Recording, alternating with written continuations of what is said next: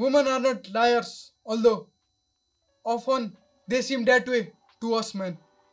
To understand this, we must understand that we men are the masculine creatures while the female are the feminine creatures. To know about what masculinity is, what femininity is, it's a basic topic and I'm not going to describe it in this video. You can search it in YouTube as there are many videos and I'd recommend the Hamza one maybe i'll link it in the description below. This is the topic we guys need to discuss about. Women are not liars although often they seem to to us men. Right? This is the topic we need to discuss bro. I see no youtubers have discussed about this topic but this is the core essence in knowing about women and knowing about girls and knowing about masculinity and understanding the femininity and feminine essence so let's deep dive into the topic. You know, like the author of The Way of the Superior Man, David Deida, says, Keeping your word is a masculine trait in men or women. A person with a feminine essence may not keep her word.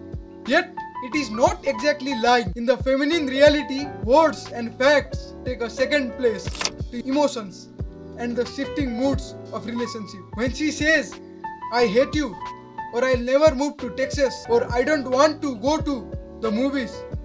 It is often more a reflection of a transient feeling wave than a well considered stance with respect to event and experience. On the other hand, the masculine means what it says. A man's word is his honor. The feminine says what it feels. A woman's word is a true expression in the moment.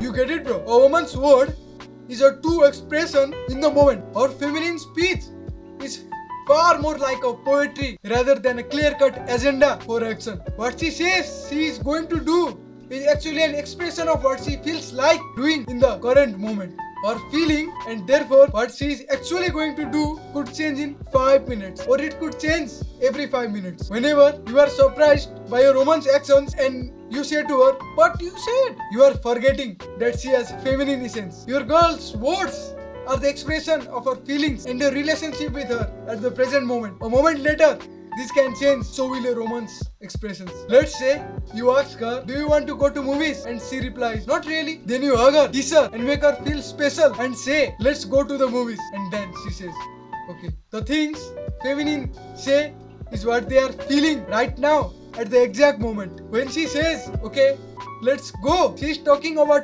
your relationship with her. In that moment she is not really saying she doesn't want to go to movies when she said no even though that is what it seems she is saying. So this is not lying but speaking of the feeling in the present moment. To us men who speak in masculine essence to say something that is not true is lying. Then she must be lying right? Nope you forget that women are feminine creatures. For the feminine truth is a thin concept compared to the thickness of her flow of feelings. The truth of feminine is whatever she is really feeling in the exact moment. It seems so weird right? Women say one thing even though they really aren't saying that thing, but it is the reality, bro. The basic rule is this don't believe the literal content of what a woman says unless love is flowing fully and deeply in the moment. And even then, know that she's probably talking about her current feelings, not necessarily about the things you discuss at that current moment. Never base your plans on what a woman says unless there is a deep love flowing among both of them. Expect her to change her mind at any moment or feelings change. Try to differentiate between your woman's wisdom and her mood swings. I hope this video gave you a unique and a new perspective. I'd be grateful if you could share this content to more masculine brothers. I do one-on-one -on -one paid coaching calls which is linked in the description below. See you in the next one bro.